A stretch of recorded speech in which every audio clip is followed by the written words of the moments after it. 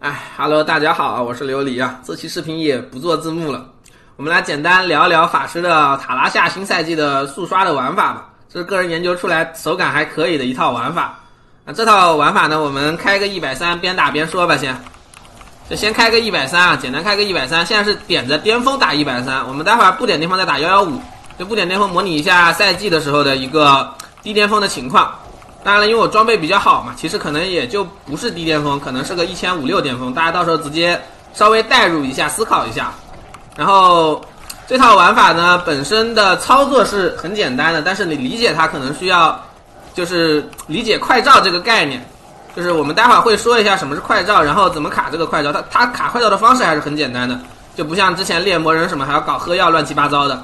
你就是简简单单的那个卡卡着这个怒火的满层，按一下魔星，按一下电甲，按一下这个魔武的护盾就好了。啊，本身打法是一个比较硬朗啊，伤害也比较高，对吧？然后我们这次选择的武器是什么呢？是怒火回荡啊。为什么选怒火回荡呢？因为怒火回荡能让我们出手速度变快。我们是主动扔陨石嘛，对吧？暴雪不是想让我们主动扔吗？那我们就扔得快一点。然后怒火扔得快了之后呢，被动陨石刷的也快了。这魔星给的那魔星是可以吃到怒火的攻速的啊，被动陨石也快了。那我们四件套那个效果刷陨石，哎，我们传送刷的也快了。你看我这边蹦了一下，一两秒就刷好了，对吧？那这样子的话呢，我们哪怕不带以太，哎，也能有一个比较不错的赶路体验，对吧？那这样子的话，我们就这把一百三打的应该还可以啊。就说一下成绩吧，我八千多巅峰，可能五万之力打一百三是三分钟左右，就是可可能左左到两分半。也可能右右的话右到四分右到四分钟接近四分钟，但如果图特别特别差没有接怪，那可能就要右到个四分半了。刚才打了一把那个很丢人的成绩啊，然后觉得不太不太舒服，就直接给他删了，重新录一下。那个成绩还不如拿运火呢，这个也是有缺点的。但大部分的时间吧，我觉得都是在三分钟左右结束这个一百三的战斗，所以我觉得强度应该也还可以。那现在大家都被大削到现在的一个情况。他在飞赛的实际速刷呢，应该也就比死灵会弱一些吧，因为飞赛是没有扫射三刀的嘛，他可能就比死灵的塔格奥星星啊，或者说比死灵的拉斯玛大军，就比这两个可能要弱一些。在总归来说，就是一个中上的强势玩法。当然，赛季猎魔人有扫射三刀这一个超强力的速刷玩法，他可能就比不太过了。哎呦，你不要击飞我嘛！呃，引剑不行啊，引剑的话。你必须要把精英的爪牙杀光了。我们现在是没有，我们现在杀精英的爪牙效率是不高的，而且引剑没法增加输出，你知道吗？我们陨石的这个技能是靠抬手跟减耗的，还有攻速，它不像引，它又不吃冷却，对吧？我们这边这么再随便打一下，我估计这把可能三分半吧，图也比较烂。你们可以看到都没什么大图，有大图的话多拉几组精英写在那里之后，两分钟就打完了。然后再跟你们说一下，这个玩法有一个很致命的缺点，也不能说缺点。就你们知道这玩法的核心词缀是什么吗？啊，是攻速吗？其实不是，是双爆吗？也不是，减号吗？减号有点用，但是减号收益没那么高。那么这个玩法最大的收益词是什么呢？是求实。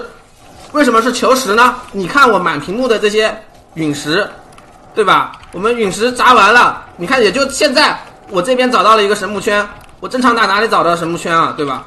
那这时候就出现一个问题了，杀死精英总会掉球的呀，我们球要怎么捡呢？就靠求实去捡，不然你打一组精英漏一个球，打一组精英漏一个球，你打完大秘境，一把大秘境打下来，你漏的球都够一分钟了，哪还能叫速刷呢？对吧？我最开始打的时候就求实不高，很不习惯，总觉得这套弱。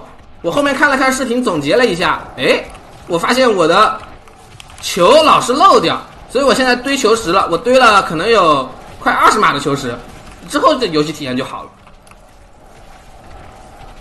又超四分钟了，那确实，我们这把超了就超了吧，超了也是图烂的关系，跟跟我是没啥关系的。反正这套平均大概是三分半，我们刚刚不是也打了个两分钟嘛，对吧？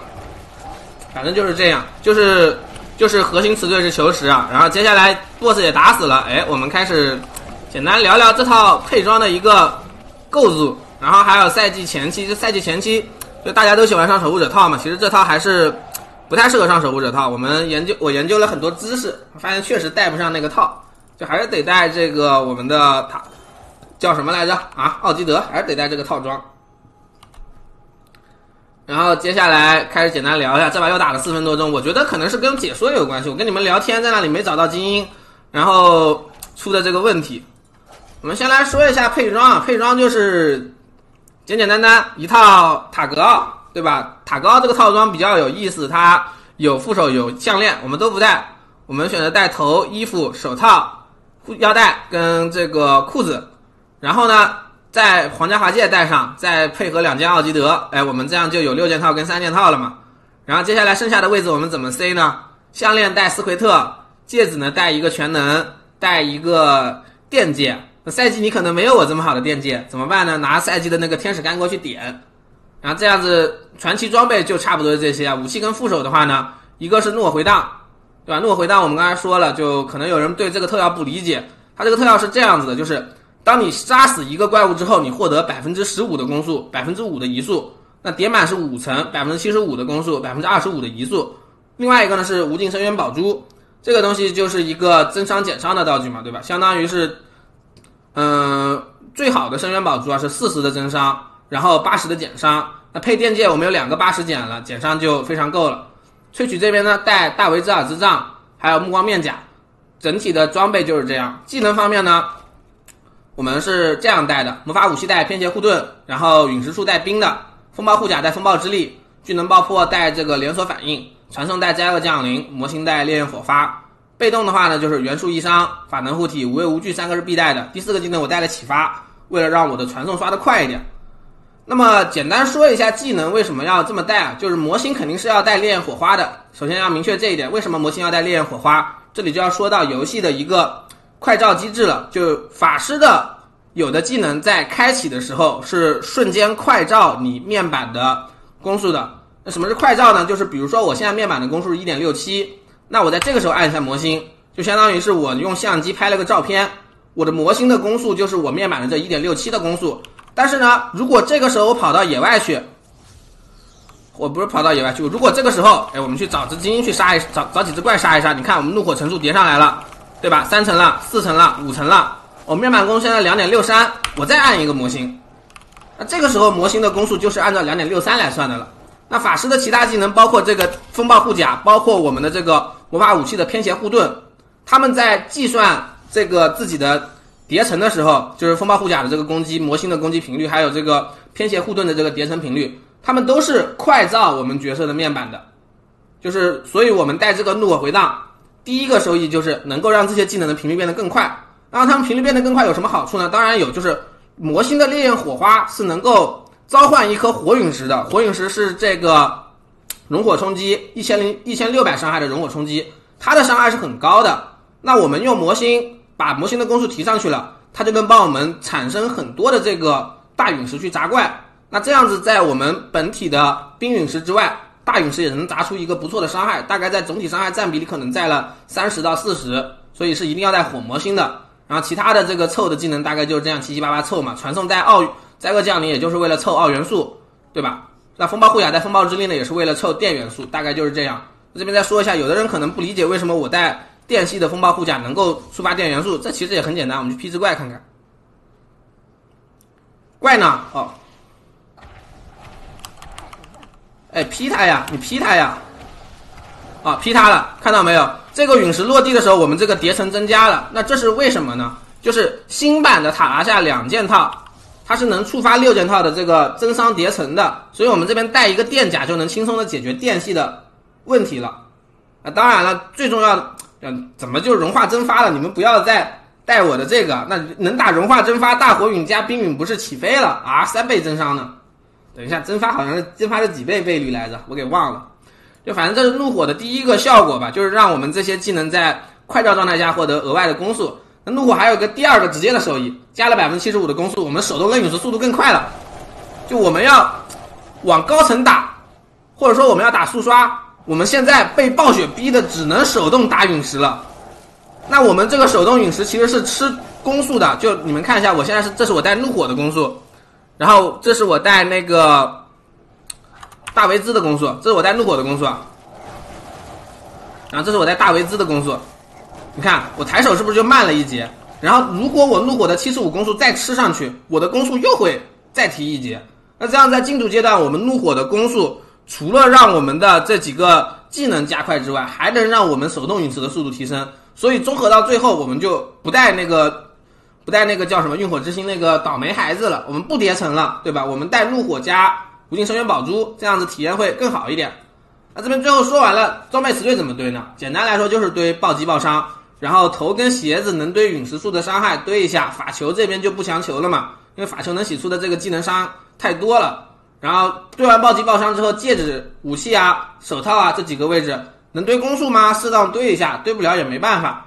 还有就是肩膀，肩膀可以出一条减号，头也可以塞一个黄宝石，因为我们要一直主动扔陨石嘛。再说一下，就是我们高速扔陨石为什么能量消耗没有问题？这是因为我们带了一个副手带了一个暴击回能的词缀，我们陨石砸到怪暴击之后会给我们反馈额外的奥能。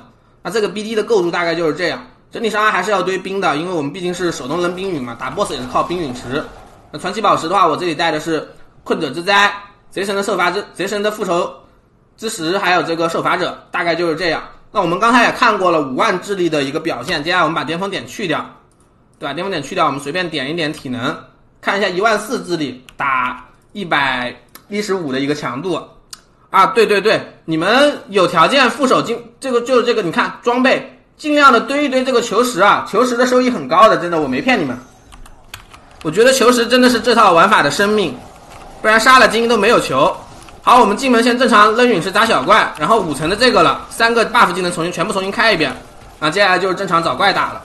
就我们现在是大概一万四智力啊，打个一百一十五层，但我装备比较好嘛，你们可以当做我现在是赛季的，可能有个一千五六巅峰的人啊，在打这个一百一十五的速刷。赛季我觉得你凑齐这套装备打的层数应该是到。一百层到一百一层之间，你可能一开始打不了幺幺五这么高啊，你可能刚凑齐这套是一百起步，然后再看情况去刷嘛，就看情况找一个你能效率差精英的最高的层数，然后在这个层数闷头刷就好了，就根据你在装备的提升还有打卡这些的改变，来这个决定你的层数。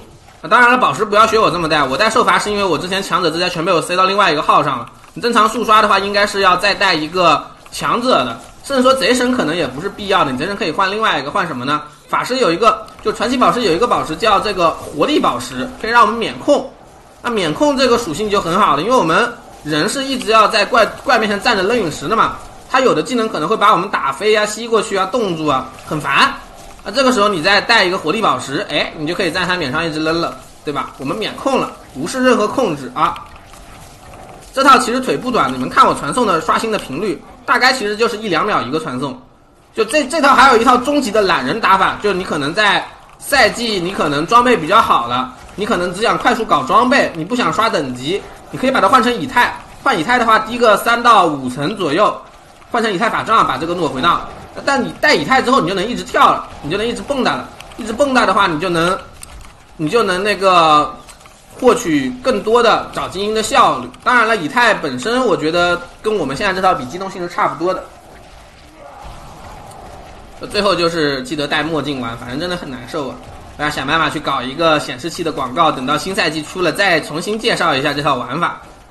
哎，这套反正就是先放上来给各位开开胃，大概就是这么一个玩法体系。新赛季送的毕竟是塔允嘛，而且之后的话，我应该个人还是会。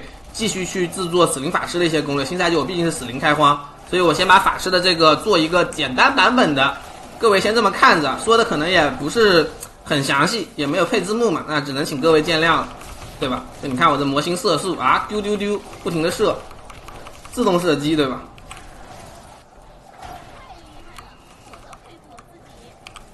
啊，这把的时间打的就很正常了啊。你们看，我觉得这把应该三分钟就打完了，说明我们上一把确实是图的原因，真的，我觉得就是图的原因。魔物肯定用天邪护盾符文啊，暗影三刀跟这个哪个硬？我，你们，嗯，这边是在回答直播一些弹幕的问题啊，就是你们你们拿暗影三刀跟这个谈谈硬度，我觉得你们在侮辱法师啊，暗影三刀凭什么跟这个谈硬度啊？啊？暗影三刀才多少减伤？你知道这个有多少减伤吗？这个一个电剑能够打暗影三刀差不多全身的减伤了。你看我现在这个坚韧，暗赛季暗影三三刀的坚韧是很低的，真不高。它主要是暗影三刀能够快速的秒杀怪物，在秒杀城的体验是很好的。那大概就是这样，这就是法师这套。